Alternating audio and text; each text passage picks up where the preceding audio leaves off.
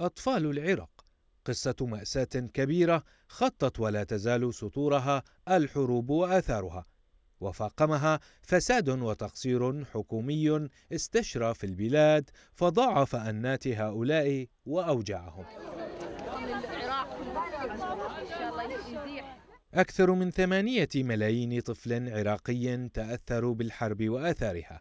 وعلى رأسها رحلات النزوح القاسية فيما يحتاج أربعة ملايين طفل من هؤلاء لكل ما هو أساسي من أجل أن يحيوا.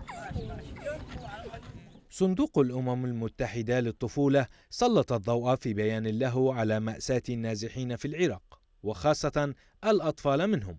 مؤكدا أن ما تبقى من نازحين في البلاد يتعرضون لأخطار كثيرة كبيرة بسبب مصاعب رحلة النزوح وطول فترتها وزاد قساوة ما يكابدونه أنهم ليس باستطاعتهم العودة لمناطقهم بسبب مخاوفهم الكبيرة من انعدام الأمن والأمان فيها.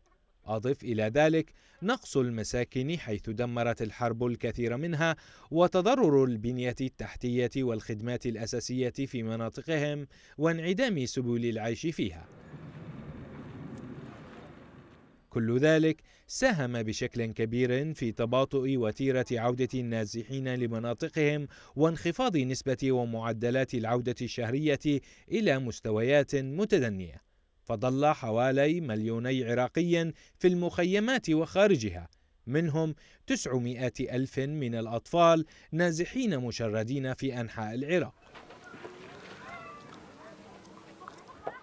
علاوة على ذلك يؤكد صندوق الأمم المتحدة للطفولة أن عددا من المحافظات بينها الأنبار والتاميم ونينوى وصلاح الدين لا تزال تقدم صورة مأساوية بشأن النازحين الموجودين فيها في المخيمات وخارجها.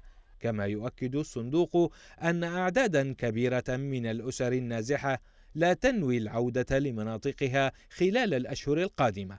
وبالتالي فإن مأساة النازحين ستستمر. وعددهم الحالي في العراق والذي يقارب المليونين سيظل على ما هو عليه حتى عام 2019